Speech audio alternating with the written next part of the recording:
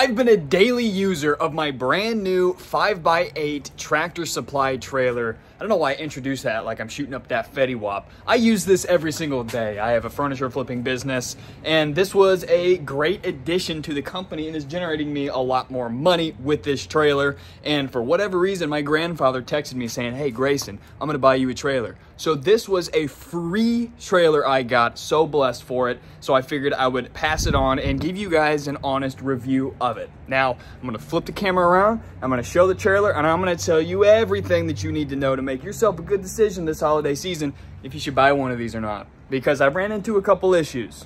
All right, so I have the wood floor. You can pay about $200 extra if you would like the mesh bottom floor that'll match the tailgate.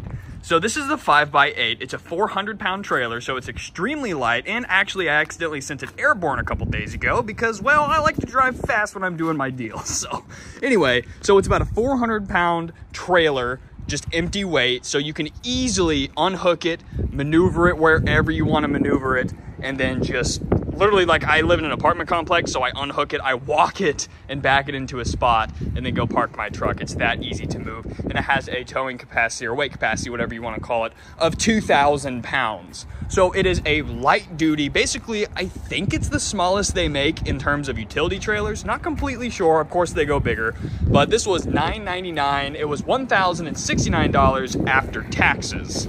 So here's what it looks like, little wheels, it's got lights, it actually has a license plate mount. So let's talk about a couple things. First off, when I got the trailer, of course, you're gonna wanna make sure you have the correct setup here. So this costed me about 40, and then this was basically 30 to 40 because I didn't have the right connection, so I had to have an adapter. So that was almost an extra 100 bucks in accessories. So if this is a first time trailer buy, just like myself, or first time trailer gift, you're gonna wanna keep those in mind. Okay, so now let's move on to the important things. When it comes to actually tying things down, you don't have a lot of options. You're really restricted when it comes to what you can actually attach to. So if you'll notice, you could probably attach something to that, but this is not what it's for. I try not to walk on these, even though I do, because who cares? Uh, but I certainly don't actually fasten anything to that thin piece of metal. What you're gonna wanna fasten to is you can do the frame, but it's kind of flat on the bottom, so you can't really hook anything. But these hooks, the welded pieces. There's one on the bow and, not the bow and stern, the front and back, both sides. So the only thing I ever secure a load to is gonna be those right there. So you actually have reflectors because why not? You have to. And you have side mounted turning signals, which is handy. Now over here, at first, I saw these right here. I was like, oh, I could probably hook something to that and maybe a bungee cord would, you know, a bungee cord would be good here, but it doesn't really bite into anything. It's just flat metal. And I thought, hey, maybe I could tie a load, let that motorcycle go by. Maybe I could tie a load, my ratchet straps to the top of the lights but I figured as soon as I do that, the trailer would look Chinese. So I didn't do that. And really, after giving it a solid look around, the only spots I would ever mount anything or attach anything, I keep saying mount, would be where it's welded right here. Kind of the same concept in the bed of your truck. There's many places in the bed of your truck that you could attach a ratchet to, uh, but it would rip the tits off of it, so you don't want to do that. Same concept with this trailer give you a look on this side. All right, so it is the 5x8. And in terms of utility trailers, this is almost as small as it gets. You've got trailers that are smaller that can be pulled with, you know, a side-by-side -side or an ATV or something like that. But realistically, for a truck, this is really the smallest you're going to want to do. So let me talk about exactly what I use this for. So let me drop the gate. You pull back, and you twist, and it locks just like that. On the other side, set it down, gate's real light. And then when it's time to put it back up, all I do is I just kick it into place just like that. So I own a couple businesses, but the one that requires this trailer is my flipping business, which is furniture and boats. So I pick up big sectionals, big U-shaped sectionals. So they're not like small couches, they're pretty big. And when I load them, I actually have to hang the main part, the, the largest part of the sectional.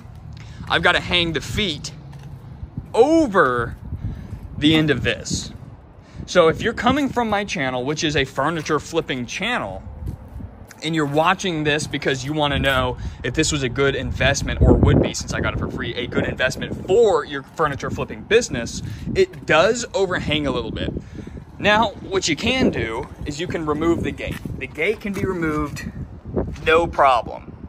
But it's not exactly level. So I could hang some couches off the end, but I don't want to risk it because my setup's a little jank and it's basically pointing straight towards the ground. But if it was leveled out, you could remove the gate and you could actually hang them off the back end, which would be easier for sure and safer because if you don't have it fastened down correctly and you're hanging over the front of it, guess where that energy transfer is going to go? The bed of your truck. And in case you haven't noticed, I don't have any extra bed I can't afford to lose. So yeah, we, we don't need any unforeseen surprises.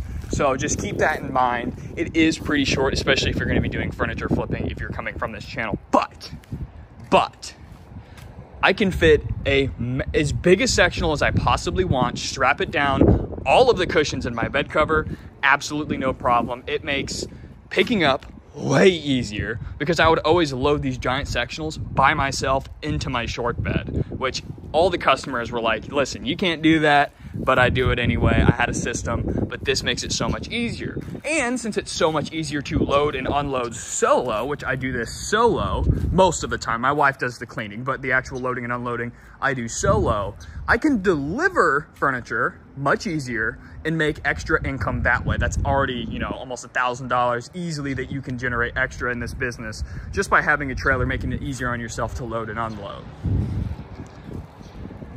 give you another little walk around here. So overall, for a thousand bucks, it's a great trailer. But if I'm gonna be honest with you, you can find these things used. You can find them from 600 to 800. You can find them used no problem on Marketplace in just as good of condition. And let me tell you why I would recommend buying used versus new. For one, there I bought it. I keep saying I bought it. My grandfather gifted me and the trailer already has rust on it. So if you're looking to get a brand new trailer, you don't want any surface rust or anything, listen, I've had it for two weeks. It had rust on it when I got there. It sits outside, it's a trailer, it's gonna get scratched. It's what happens. Don't worry about the cosmetics. It does its job.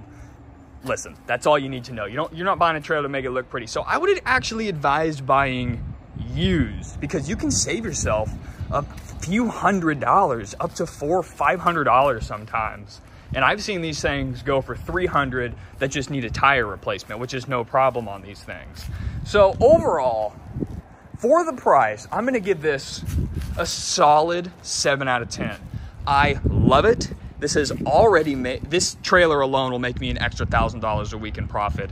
And it already has, and I absolutely love it. So whether you're looking for a toy hauler for, you know, golf carts, uh, you know, some side-by-sides, four-wheelers, anything like that. Or if you're, well, I'm a, guess a boat flipper, but I'm more of a boat keeper, I guess I should honestly say. Uh, but things like these, it works perfect for.